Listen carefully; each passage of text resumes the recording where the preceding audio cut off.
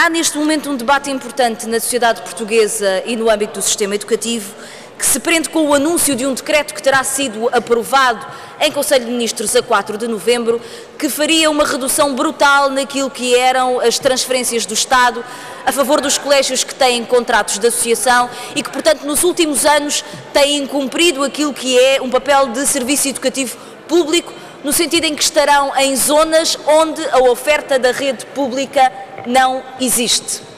Contudo, esse decreto ainda não foi publicado e, portanto, nós não sabemos exatamente o que é que vai sair daquilo que foi anunciado em Conselho de Ministros e creio mesmo que na altura em que esse decreto for tornado público, for publicado, que esta Assembleia deve assumir um trabalho específico para determinar exatamente que regras devem presidir àquilo que são contratos de associação do Estado, ou seja, perceber onde é que há nova oferta pública que torna estes contratos desnecessários, mas também que tipo de relação estabelece o Estado com parceiros que têm cumprido serviço educativo público e que não podem, de um momento para o outro, ficar totalmente uh, uh, surpreendidos naquilo que é a planificação da sua uh, estrutura económica.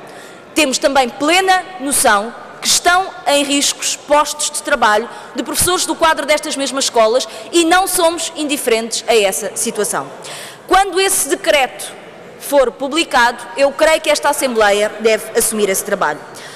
Contudo, aquilo que o CDS hoje aqui apresenta não tem a ver com esse decreto, tanto que ele ainda não é letra de lei.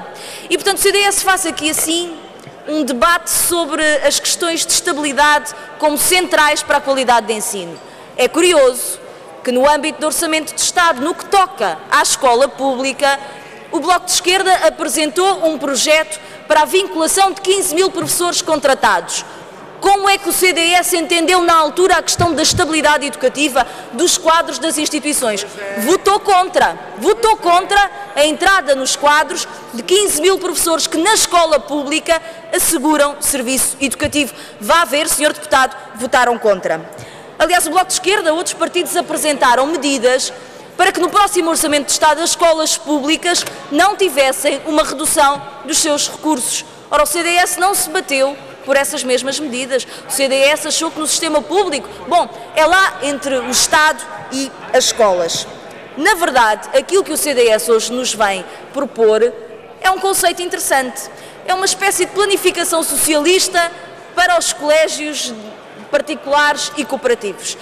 Pretende o CDS-PP que haja contratos de financiamento plurianuais e por ciclos de escolaridade. Pode ser uma boa proposta. O problema é que cria aqui uma disparidade. É que as escolas públicas não têm contratos de financiamento plurianual. A cada ano, a cada ano, o Governo lhes vai dizendo que verbas é que vão ter. E este ano, senhores deputados, este ano, já há um corte de 10%.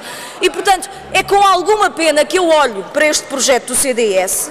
Ele apresenta contratos de financiamento plurianual para as escolas privadas, mas nada diz sobre as escolas públicas, sobre a sua estabilidade, sobre o trabalho das suas equipas, sobre a responsabilidade em termos de igualdade de oportunidades que temos para com os alunos que frequentam a escola pública.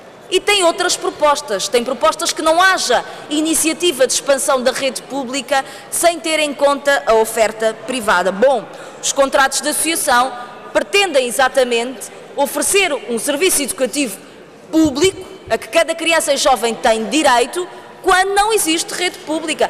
Tem que haver uma planificação mínima. O que nos assusta é que o Ministério da Educação sucessivamente vá tomando medidas sem qualquer tipo de orientação estratégica. Ou seja, corta a direito, faz percentagens que não se percebe exatamente de onde é que vêm e estabelece limites que ninguém entende quais são os critérios. E, portanto, senhores deputados, há aqui muita matéria certamente para nós discutirmos. O que eu creio que não é aceitável é que o CDS venha aqui defender estabilidade, planificação a longo prazo no âmbito do privado, mas tão pouco se tenha batido por essa planificação contra esses cortes no sistema público educativo. Muito obrigada.